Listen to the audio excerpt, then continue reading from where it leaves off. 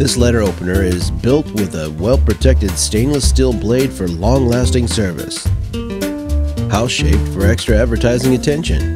It's great for realtors, rental businesses, and home delivery services.